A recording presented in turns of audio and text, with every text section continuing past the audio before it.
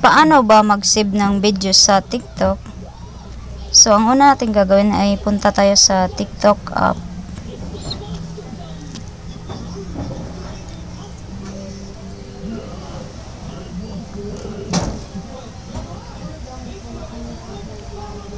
Antay lang, nag-loading pa.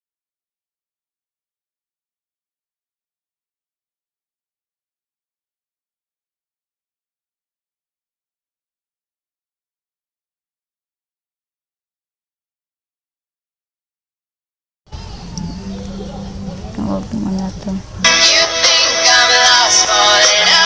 Mamili muna tayo kung ano ang isave natin ng video.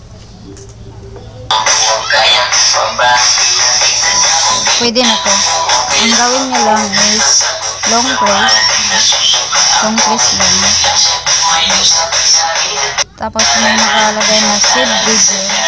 So, select nyo lang to. Save video.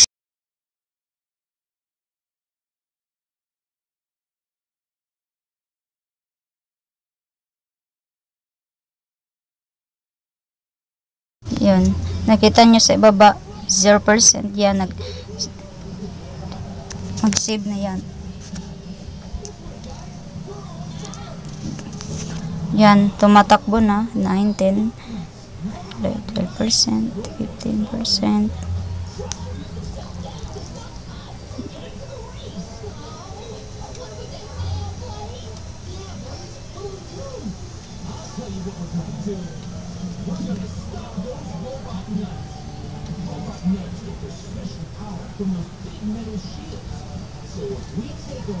So, 100% saving.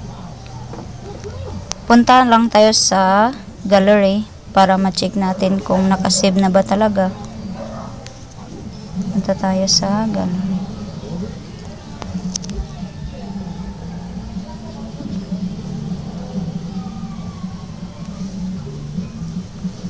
Ito, nakasave na. Oh, tingnan nyo.